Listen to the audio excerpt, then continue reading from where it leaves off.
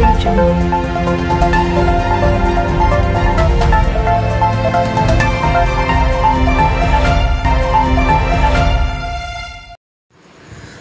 તાલુકામાં શીતળા માતાનો મેળો એકસો પંદર વર્ષમાં પ્રથમ વખત રદ થયો. વાગડ વિસ્તાર એ વિરાટ નગરીની પૌરાણિક નગરી છે અને આ વિસ્તારમાં પાંડવ અજ્ઞાતવાસ રહ્યા હતા ત્યારે વાગડ વિસ્તારમાં મુખ્ય મથક રાપરમાં પણ પૌરાણિક અને ધાર્મિક સ્થળો આવેલા છે. ત્યારે રાપર શહેરના નંગાસર તળાવના રમણીય કિનારે આવેલા સદીઓ જૂના શીતળા માતાનું મંદિર કે જે એકમાત્ર વાગડ વિસ્તારમાં આવેલ છે. ત્યારે આજે શીતળા સાતમ નિમિત્તે આજે મંદિરમાં દર્શન કરવા માટે ખુલ્લું મૂકવામાં આવ્યું હતું.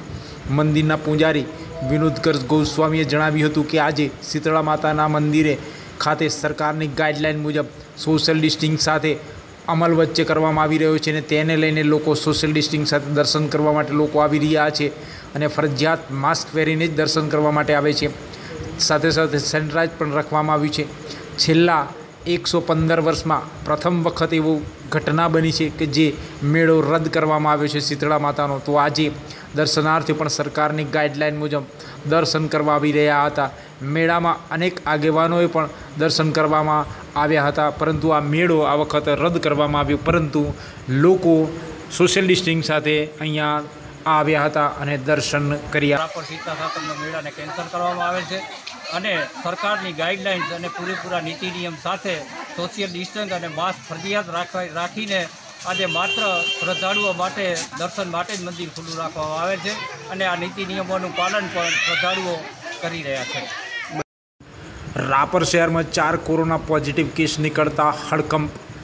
રાપર શહેરમાં જુદા જુદા વિસ્તારમાં ચાર કોરોના પોઝિટિવ કેસ બહાર આવ્યા છે, જેમાં મોહિનીબેન મુકેશભાઈ હળપતિ, શમસુદ્દીન સુંદરજી, ખોઝા, ભૂરાભાઈ રાજાભાઈ રમણકા, ભારતીબેન શૈલેષભાઈ કોઠારીનો આજે કોરોના પોઝિટિવ કેસ બહાર આવ્યો છે, જે લઈને રાપર શહેરમાં જુદા જુદા વિસ્તારમાં કોરોના વાયરસના કેસો આવતા હડકંપ મચી જવા પામ્યો છે. જે જે વિસ્તારમાં કોરોના પોઝિટિવ કેસ નીકળતા taluka health officer doctor Paul અને તેમની ટીમ દ્વારા જે તે વિસ્તારની આજુબાજુ લોકોને ક્વોરન્ટાઇન કરવાની કાર્યવાહી હાથ ધરવામાં આવી છે.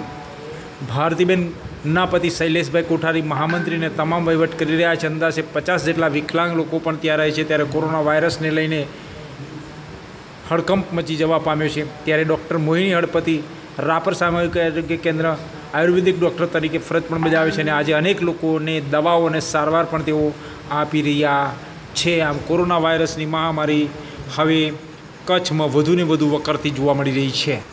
રાપર તાલુકાના ગ્રામ્ય વિસ્તારમાં આજે પણ વરસાદી માહોલ જોવા મળી રહ્યો છે.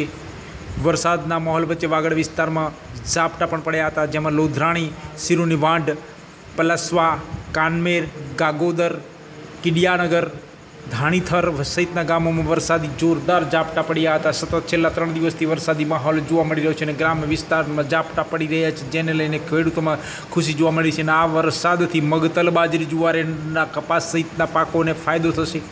તેમજ પલાસવાના માજી સરપંચ રમેશભાઈ ખાંડે જણાવ્યું હતું કે સિરોનાની વાંઢે સહિત આજુબાજુના ગામોમાં વિસ્તારમાં એકથી દોઢ ઇંચ જેટલો વરસાદ પડ્યો હોવાનું નરેન્દ્રભાઈ ચાવડાએ પણ જણાવ્યું છે. પાલસવા, કિડિયાનગર, કાનમેર, ધણીથર, કાગોદરમાં પણ વરસાદી ઝાપટા જોવા મળી રહ્યા છે.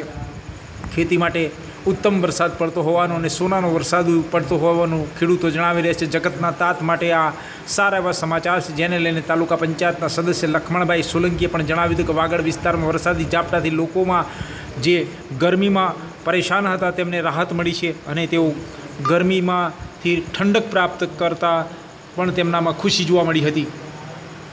આમ રાપરના ગ્રામ્ય વિસ્તારમાં ત્રીજા દિવસે પણ વરસાદથી ઝાપટા પડી રહ્યા છે.